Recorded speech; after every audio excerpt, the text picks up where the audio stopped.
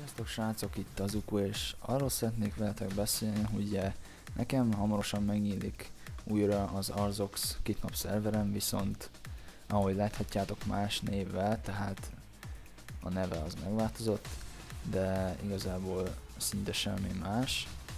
Ö, de a kérdésem lényegében annyi lenne, hogy van egy olyan lehetőség a számomra felajánlva, hogy ö, csatlakozhatok egy lobby szerverhez. Na most ez a lobby szerver még csak készül, de szerintem elég jóra csinálják. Annyi a lényeg, hogy a szerverem legyen a lobbyban, vagy így külön ö, klánszos szerverként fusson. Kommentbe, ahogy gondoljátok, ti azt ö, írjátok le. Ö, annyi, hogy esetleg három verzió legyen, hogy ö, mondjuk legyen simán klánszos, egyedülálló szerver, kettes legyen az, hogy ö, lobby szerver legyen, illetve mondjuk a hármas, hogy tartózkodtok, hogy nektek végül is mindegy, mert így is úgy is fel tudtok majd menni például. Tehát igazából ezt döntsétek el, és akkor kommentbe a számot 1-es, 2-es vagy 3-as, ezt írjátok le, és akkor mondjuk